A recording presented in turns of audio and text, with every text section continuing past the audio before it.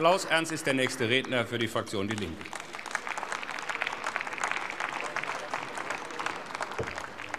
Herr Präsident, meine sehr verehrten Damen und Herren!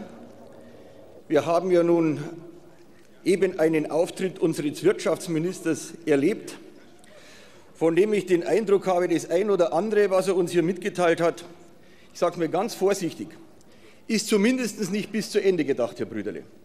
Wenn Sie, es ist ja schon weg, er noch da? Ah, er ist bei seinen Brüderlen. Ich kann Ihnen sagen, Herr Brüderle, wenn Sie feststellen, wir sind in Deutschland gut aufgestellt und gleichzeitig aber Ihre Prognose über die wirtschaftliche Entwicklung in Deutschland, die Sie noch äh, vor kurzem auf 2% Wachstum äh, prognostiziert haben, jetzt reduzieren und sagen, wir sind gut aufgestellt, ja, wann sind wir dann eigentlich in diesem Land tatsächlich in einem Problem? Sie müssen Ihre Prognosen nach unten korrigieren, unter anderem auch deshalb, weil Sie merken, dass Ihre ökonomischen Vorstellungen nicht aufgehen. Wir haben das Problem, und da bleiben Sie jede Antwort schuldig, dass Sie uns keine Analyse dieser Krise gegeben haben, sondern im Gegenteil. Sie sagen dann so richtungsweisende Sätze, nur wenn wir Innovation als Chance begreifen, hat Innovation ein Deutschland eine Chance. Nachts ist es dunkler wie draußen, Herr Brüderle. Also da kann ich nur sagen, das bringt uns doch nicht weiter. Ihre Analyse fehlt und ich sage Ihnen, was bei Ihrer Analyse fehlt.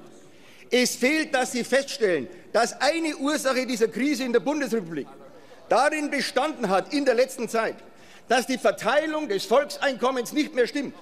Wenn die Arbeitnehmer keinen Zuwachs mehr haben, wenn es letztendlich nur noch die Unternehmer sind, die ihr Geld aus Einkommen aus Unternehmertätigkeit und Vermögen beziehen, die einen Zuwachs der wirtschaftlichen Tätigkeit zu verzeichnen haben, aber der normale Mensch eher mit Reallohnsenkung zu rechnen hat und das über Jahre hin in der Bundesrepublik Deutschland, dann ist klar, dass eine Ökonomie nicht mehr funktioniert.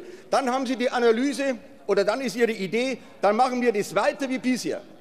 Ich kann nicht akzeptieren, Herr Brüderle, dass Sie sagen, es wird weiter so sein wie bisher, mehr Flexibilisierung, mehr offene Märkte. Nehmen Sie doch mal zur Kenntnis, dass die Deregulierung der Finanzmärkte mit Ursache ist für diese Krise. Da haben Sie keine Antwort, nicht eine einzige.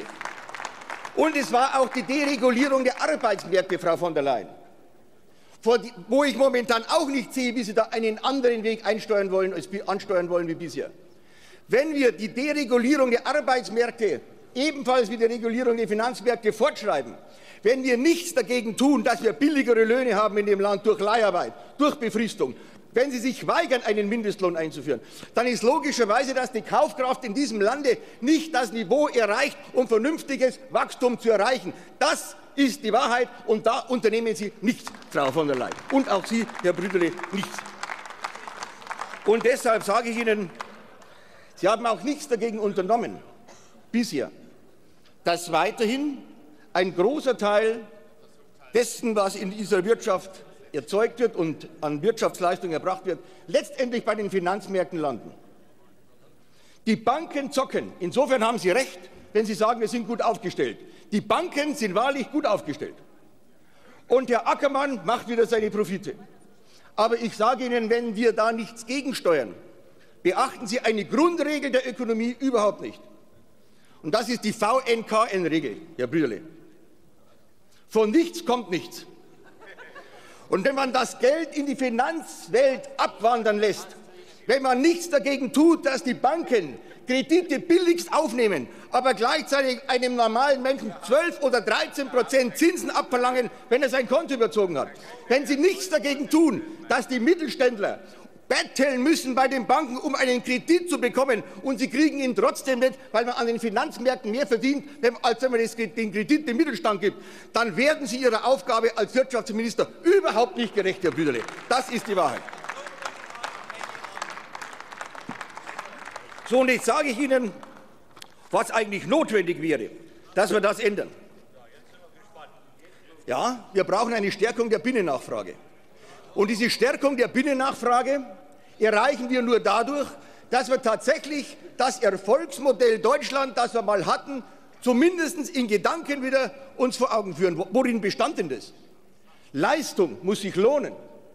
Wir hatten, wir hatten selbstverständlich sowas wie, dass Produkte aus Deutschland ganz besonders gefragt werden. Wo war die Ursache?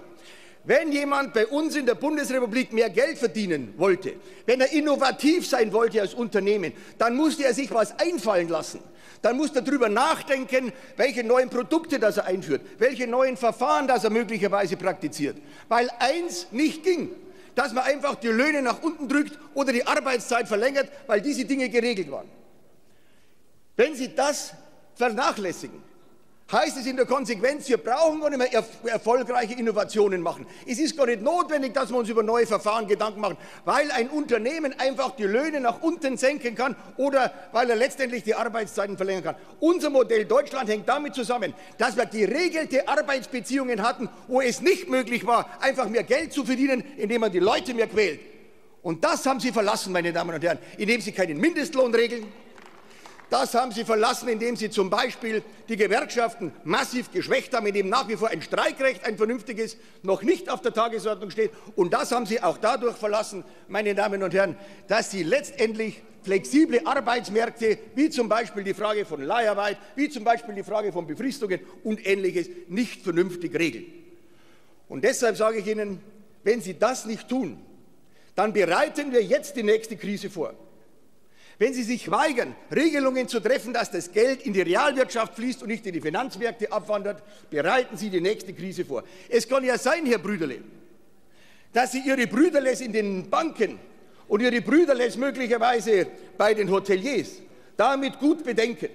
Aber ich kann Ihnen sagen, es ist nicht akzeptabel, wenn Sie sich hier kurz vor einer Wahl in Nordrhein-Westfalen hinstellen und Steuergeschenke verteilen, letztendlich eine neue Rechenart einführen, weil es nicht möglich ist, bei sinkenden Einnahmen mehr Geld auszugeben, dann sagen Sie den Bürgern der, dieser Republik, insbesondere in Nordrhein-Westfalen, nicht die Wahrheit. Und die Wahrheit werden Sie präsentieren müssen, zumindest dann, wenn der Finanzminister wieder da ist.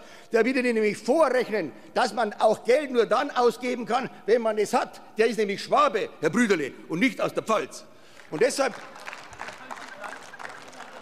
und deshalb, und damit, ich, und damit ich, komme ich zum Schluss.